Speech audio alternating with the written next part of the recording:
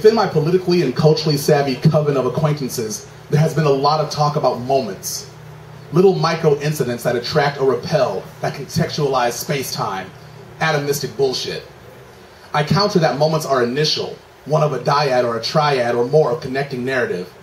Many of us become too busy or too habitual in our respective grinds to notice when a compliment to the original moment makes itself known. We remember and internalize the shock or the jolt, and these become primary. How and why these moments matter over time we never explore or reflect on. How this moment links to the tangential strands of our histories is not addressed. I'd like to do so now. Rose May is my aunt, the baby of her brothers and sisters, but by far the most dangerous. In Jamaica, they call her the Yellow Devil because of her skin color and her ferocity in a fight. And if you know anything about Yardies, you know that most people know your character or temperament more so than your name. My mom was the sick nickel pickney. Junior, one uncle was the man about his business because he sold ska and rocksteady 45s from the back of his motorbike. His brother, Neil, was the cock swinger because he'd fuck a knot in the tree if the hole was big enough. there were several other aunts and uncles who were collectively known as the choir because they all went to church together and that's all they did. Needless to say, me and the Yellow Devil were closer than the choir and Jesus. In effect, she was my mother. Me and my bio mom were never meant to be. I think that I reminded her too much of her failure with my dad, so we never connected. But Rose May and I connected through the fist. She was the Mickey Goldmill to my Rocky. We trained for project eventualities. When there were no ifs, faced with more than one opponent, make sure that your back was against a wall. Why punch when you can pick something up and smack him in the head? And never, ever leave the house without some kind of weapon. Rose May was an urban warfare specialist. She was the Q to my ghetto James Bond, outing me with unconventional weapons for conventional battle theater. And it was not like she said, here's a gun or here's a knife. She was elaborate with hers. The first weapon she gave me was a hockey sock filled with change with a zipper to seal the opening. Ignorantly, I asked, Auntie, why does it have a zipper? Why not just a knot? She looked at me like I was a formerly bright protege. A knot makes it shorter and you have to get closer to that motherfucker and hit him in the head with it. also, with a zipper, after you're done, smash his teeth in, the sock is just like a wallet. Run to the bus, zip it open, pay your fare, and get away scot-free.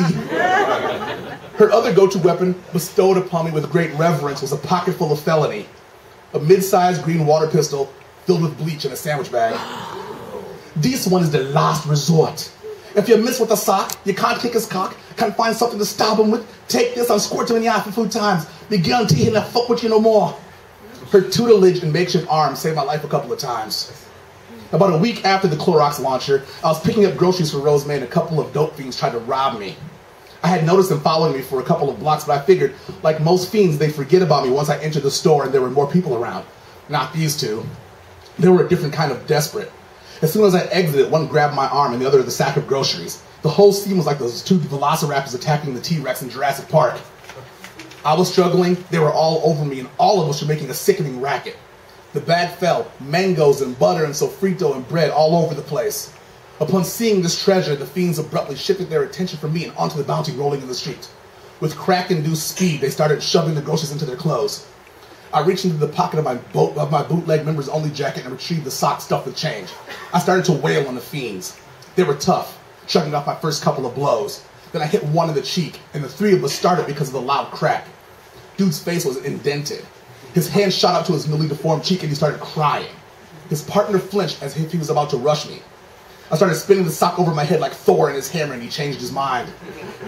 After cursing me out, and making unenforceable threats, they slid into the shadows of a nearby alley. I retrieved what groceries that I could, and when I got to my aunt's house, I told her everything. With such a look of pride on her face, she hugged me. For better or worse, we were both very talented in violence. When people say that violence is not a family value, I laugh and ask them where they grew up. Brooklyn in the late 70s, early 80s was not the place one wanted to be. We'd already lost a generation of our men to Vietnam and the angel dust and heroin they used to forget what they saw and did in the jungle. Then crack hit, and it was like an equal opportunity atom bomb exploded. Once reliable people became night fiends, skittering from shadow to shadow. Your babysitter offering to blow you for $10. Your best friend would rob you. The strongest, most stand-up people were felled. Rose May tried to shield me from the meteor storm that was crack cocaine. Between her and the ska and punk music that so captured me, I became straight edge. Not the overly militant straight edge because I could never give up sex. but straight edge enough that I have never had a drink, a smoke, or a token anything stronger than a ginger beer, and I'll be 39 hey. in September. This straight edge identity defined everything about me. I railed against the evils of drug and drink, how it was destroying our community, an arrogant town crier, never thinking that the pipe would touch my family's lips. The first day of ninth grade, I just returned the night before from visiting relatives in Jamaica for the summer. I hadn't seen or spoken to my aunt in a little over three months and was looking forward to stopping by her restaurant and watching her talk shit with her customers. Me and Joey Bautista were walking home from school and we saw his older brother Kike. He looked more smoked out than usual. Fingertips blackened and cracked, teeth yellow and rotted, clothes held together by dirt and bodily secretions. Let's go, Joey said. I saw the tears in his eyes, so I knew that he was really going through it if he was crying in public. That's something he didn't do in our neighborhood. Jojo, Kike called. You got any lunch left, man? How about five dollars, Poppy? You got that?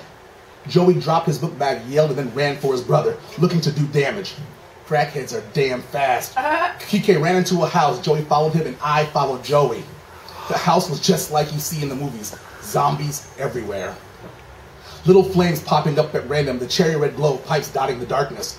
We lost Kike in the gloom and smoke.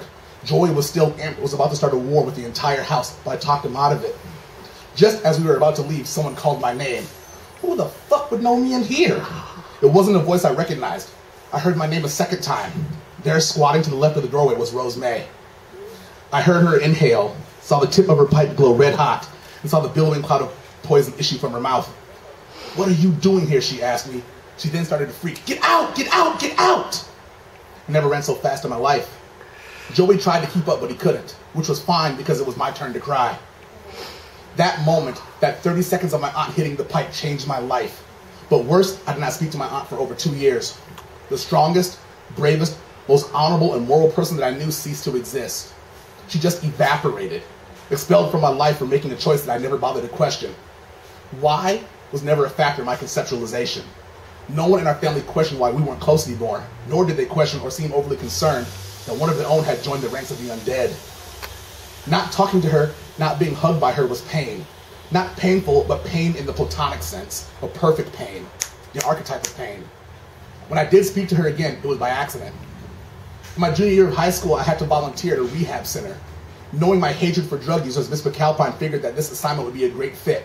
She was always trying to instill her overtly Christian values into every inch of our education. You have to forgive sometime was her mantra. Yeah, right. As I was in the mess hall washing dishes, I heard the most beautiful combination of curse words all strung together with a full throat of patois. I turned and saw Rose May setting up for the evening activity. She looked good. She looked great. I wanted to reach out to her, but I felt I still felt betrayed. How could you, out of everyone that I knew, hit the pipe? My mom could die today and it would not be a big deal, but you, Rose, how could you? While these thoughts were banging about my skull, I felt familiar arms hug me and a familiar chest press against my cheek. I miss you, she whispered. I tried to speak, but could not. Being held by her was like having a limb reattached. I wanted to ask her why, but I did not. 20 plus years later, I still have not. She had a reason and it was hers. This isn't to, to say that, I, that the why of her descent doesn't nag at me. It does, every day. But I lost two years of my life not speaking to her, and there's no reason to revisit the void. About 16 years ago, she and I were walking back from her house to her house from her new restaurant that she opened in Minneapolis, Jimbo's, the first Jamaican restaurant in Minneapolis. When asked, she said that there was no way that she could get into any kind of trouble in Minneapolis because it was so fucking boring. Plus, I went to undergraduate school there, so it must be a good place to live. A young brother stepped to us and was rather aggressive while trying to sell us dope. With little to no hesitation, Rose May punched the shit out of him. He flew back and smashed into a light post. He was out. Something ran up and down my spine and then settled in my heart. A moment was concluded. From fighter to fiend and back to fighter, full circle. Never again, little goat, she whispered to me. Never again, my promise. She's been clean ever since. When I asked her permission to write and share this, she laughed and said that she had no problem with it and if people could get anything useful from her story, then I should tell it far and wide. But make sure, she said, make sure that the people them understand that the smaller you break up your life, the smaller you live your life. Fuck a moment, you live me life. We don't live in episodes. Me not a soap opera, me a ass kicker. Rose May is well into her 50s and just started taking Brazilian Jiu-Jitsu. Thank you.